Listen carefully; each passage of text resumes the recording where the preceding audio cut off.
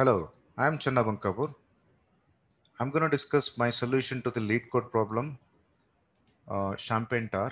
It's today's problem in the October LeetCoding challenge. So the problem definition is as follows. We have uh, a tower of champagne glasses in the form of a pyramid uh, as shown here in the example here. So we have at, at row zero, let's call the first row as row zero, which is zero based way of you know, indexing. So row zero has one glass and uh, row one has two glasses and row two has you know uh, three glasses. Actually if you want to even index the glasses this is glass zero glass one and then glass two right? This is how we normally index uh, those positions. So initially say all of them are empty and all of them has the same capacity which which can hold like 250 ml of you know, champagne.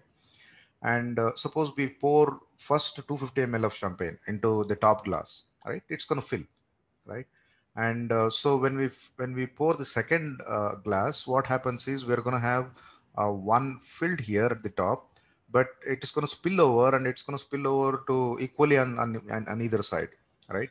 So in this case we're going to have off here and then off here right? So this is after uh, two two glasses of you know champagne poured into into the top. So when we pour the third one so what happens is we're going to have uh, again spillover and uh, so this is going to fill and this is going to fill. This is after third glass. So when we pour the fourth one, what happens is, so we are going to have one fourth here, one fourth here, uh, but uh, it's going to be two fourth or actually one one half in the middle because it's going to take from either side. Actually, the picture here shows what happens after you know you pour four glasses of champagne, right? So one fourth from here and one fourth from here that's how we're going to have uh, uh, off of the glass filled in, in the middle, right? But on the other side, it's only one quarter. So this is after four glasses of you know champagne. Let's work on a few more cases. Say after fifth uh, after fifth glass, what we're going to have is uh, so uh, so again one fourth is going to be added to the left side here and one fourth here and, and two fourth here. So effectively, it's going to be uh, so these two things are going to be off and off or maybe uh, I, I, want to write it as 2 fourth, uh, 2 fourth here, and then this is full, which is going to be 1. This is after fifth class. Uh, and after sixth class, again, these two things are going to fill and they become, you know, 3 by 4, right? This is how it, it becomes 3 by 4 here and 3 by 4 here. This is already full. So it is going to spill over whatever it gets, which is actually off, right? Or 2 fourth. So that's how we're going to have, you know, one fourth here and then one fourth here right? So this is after six glasses are poured into this, all right? So uh, we, understood this way. Now let's see how to solve a problem of this nature, right?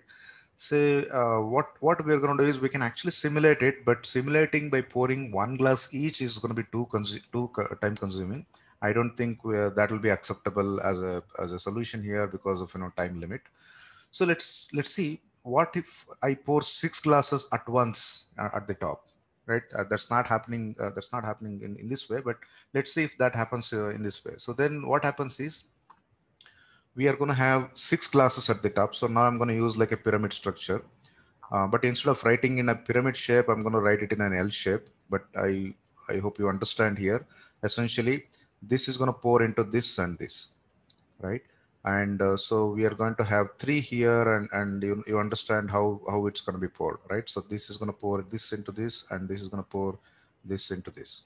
And uh, the next one is going to have four of them uh, so this is how it's going to look like right? Initially all the glasses has zero uh, ml or zero capacity or zero uh, amount of you know champagne.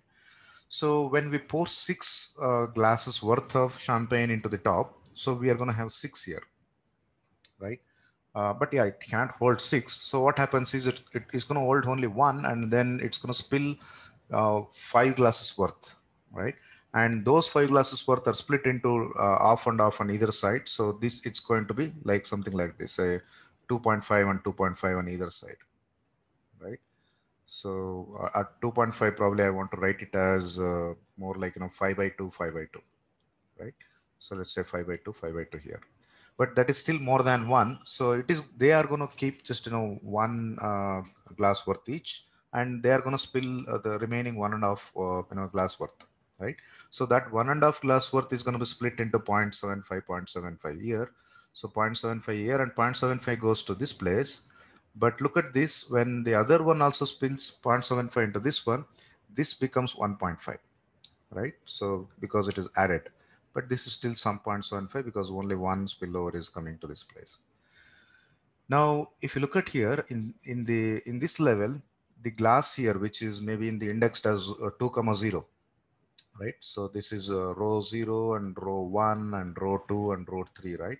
So row 2 columns, this is column 0, column 1 or glass, you can call it as glass 0, glass 1, glass 2, glass 3.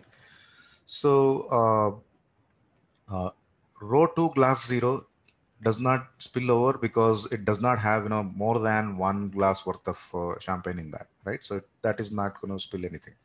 Similarly uh, 2 comma 2 also. But what about 2 comma 1 that's going to spill off of it right? So that off is going to be spilled into here which is uh, so the yeah the off of that is going to split into uh, uh 0.25 and 0.25 here and here so now suppose if you, you this is what happened after six uh, after this one obviously be these are lesser than or equal to one so they don't spill over and the whole process stops.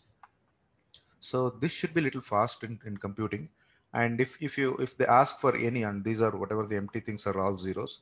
So if they ask for what happens after you know pouring six glasses of champagne at 3 comma say 2 so 3 comma 2 is essentially this one right? So it should be 0.25 and 2 comma 2 should be 0.75 and maybe if they ask for 2 comma 1 it is not 1.5 because uh, what it is holding is never more than 1 so the answer should be just 1 right? Because we whatever that 0.5 we took it out. I just didn't show here right?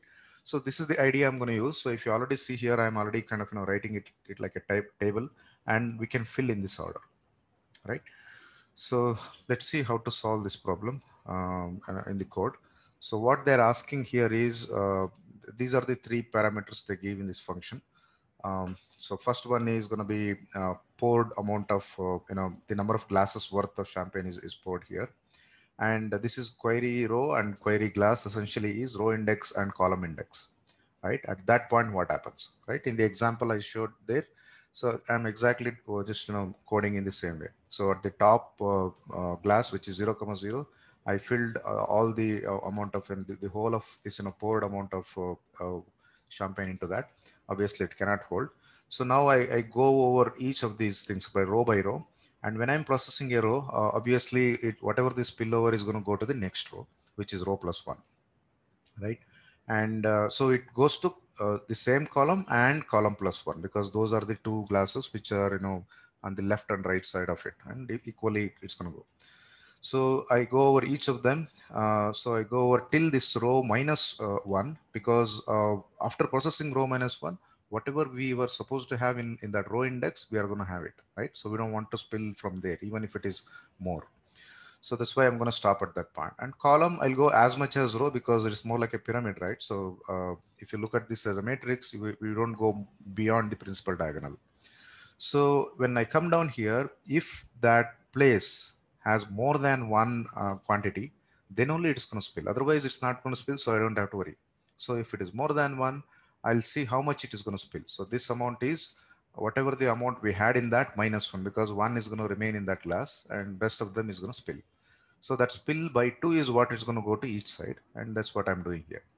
So this is as simple as that. If you do it for until that, you know, row minus one. So row is also updated because we always uh, get row plus one here.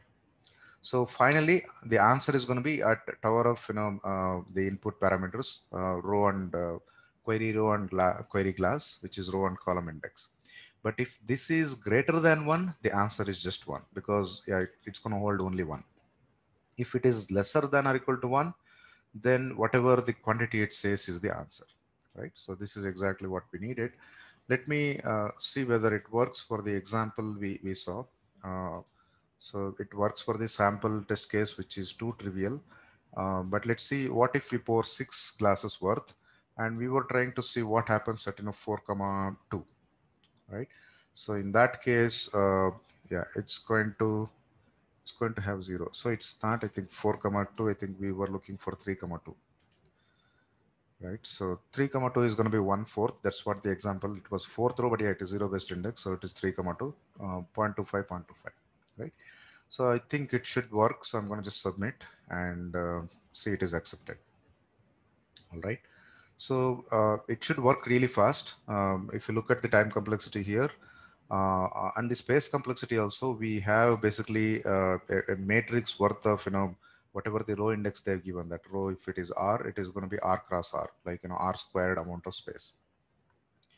And time wise also, we go for each row and then within that. So both of them are linear. So it's going to take uh, uh, big of R square time, right? That's the complexity here. But we, if you see the constraints uh, here, query glass column will never be more than row because it's like a, it is only lower triangle uh, uh, and then principal diagonal of the matrix we're dealing with. So this will never go beyond. So we don't need a, any columns beyond that also. So this uh, row query row can be replaced with query glass uh, that way we can actually reduce some space and also time also. We don't have to compute any values beyond that.